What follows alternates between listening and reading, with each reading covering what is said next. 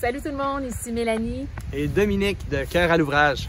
On n'a pas l'habitude de se présenter de- directement dans les médias sociaux. Si tu es capable de le taper, Ça sert à quoi? ça aide tes yeux à mieux vivre avec le soleil dans les yeux après. Wow! Ouais, ben elle va, elle va, elle va, elle va, elle va chérir, tu penses pas? Elle va. Je sais pas. Mais je pense qu'aujourd'hui, ça vaut la peine, la question de faire euh, une mise au point là, sur la situation. La situation est là là. Et j'imagine que comme nous, vous êtes un peu déboussolés, vous êtes un peu en réaction par rapport à la crise qu'on a été forcé d'embarquer dedans.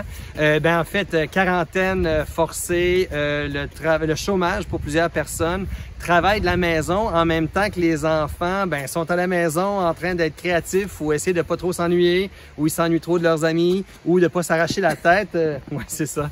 Donc euh, c'est un moment vraiment historique qui est vraiment pas évident. La crise du COVID-19. Du COVID-19. Oui, oui, c'est la crise du COVID-29. c'est- COVID!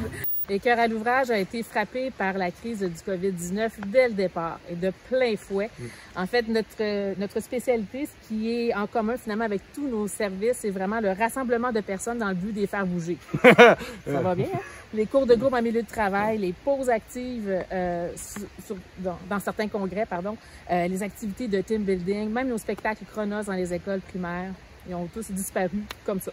Ouais, Exact. Et puis même si on sait qu'un moment donné, la vie va reprendre son cours, on va être capable à nouveau de se rassembler pour vous faire bouger ensemble dans le plaisir. Ben en attendant, euh, il va falloir qu'on soit créatif, qu'on réussisse à continuer à vous faire bouger ensemble, mais chacun de votre côté.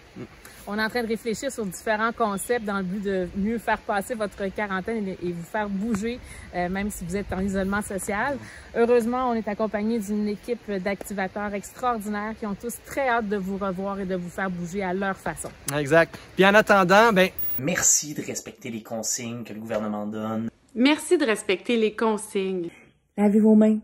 Super souvent. Moi, j'ai les mains super gercées à force de laver. Lavez-vous les mains souvent? Et lavez-les encore. Lavez-vous les mains souvent! Restez chez vous le plus possible. Gardez vos distances. Faites pas exprès d'aller vous promener. Faites pas exprès de sortir quand vous n'avez pas besoin de sortir. Passez du temps en famille. Profitez-en pour aller jouer dehors et passer du temps avec votre famille. Passer du temps en famille. Puis comme le goût le dit, un petit verre de vin de temps en temps, c'est bon. Gardez contact avec vos parents par FaceTime. Gardez contact avec vos grands-parents peut-être par FaceTime. Euh, prenez des nouvelles des voisins, savoir si vous pouvez les aider, si vous avez du temps à donner. Gardez le moral. Gardez le moral. Gardez le moral. N'oubliez pas de rester positif. Profitez-en pour aller marcher dehors, pour aller courir. En tout cas, sortez, il fait beau. C'est le printemps. C'est le printemps. C'est le printemps. Prenez soin de vous. Prenez soin de vous. Prenez soin de vous. Prenez soin de vous. Prenez soin de vous. Prenez soin de vous. On a hâte de vous revoir. On a hâte de vous revoir. On a hâte de vous revoir. On a hâte de vous revoir. On se reparle, on a hâte de vous revoir. On a hâte de vous revoir. Tout cœur à l'ouvrage et l'escouade Chronos pour une prochaine grande fête spatio-temporelle.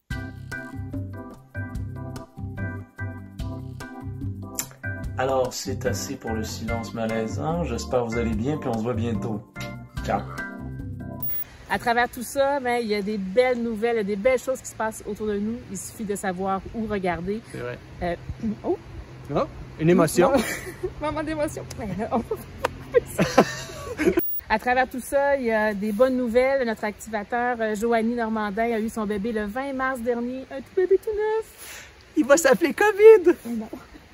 Non. Ah non. Elle s'appelle Mélodie. Alors, bienvenue, Mélodie. On a bien hâte euh, que tu, que de, de- de juste te voir. Mais pour l'instant, ben, ça va être à distance. C'est plus beau, hein, Mélodie, que COVID? Ouais. Ouais. Ouais. Horatio? Non.